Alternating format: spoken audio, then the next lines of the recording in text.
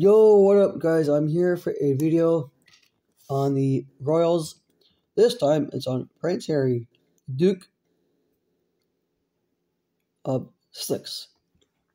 Before I start my video all across the whole entire world, subscribe if you're new, share the video, push the notifications, and the good old like. Let's start.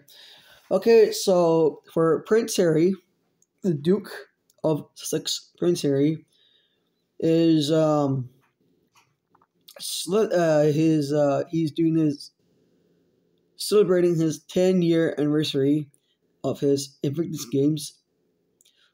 It founded back in 2014.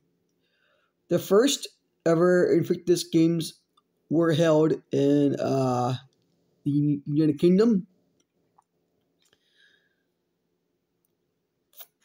And Canada, Australia, Germany.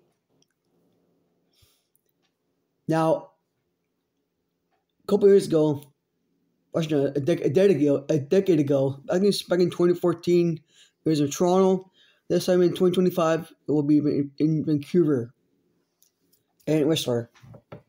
Of fixtures, the Invictus Games for all the uh, uh, the injured veterans, the uh, well, you know, the veterans that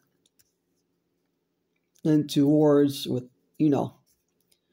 But um, it was Prince Harry's idea to do that, uh, start this Invictus Games back in 2014. He visited the States a decade ago, and he went to the U.S. to watch some uh, Warrior games in the US, and he got inspired by it by doing his Invictus games. And uh, that's why the, this year is his 10th anniversary of the Invictus Games. Now it's in 2025, Vancouver Whistler. There's been tons of uh, sporting events with the uh, sporting activities for that Invictus Games. So yeah, that's the video on the Prince Harry with his 10 year anniversary with the Invictus Games.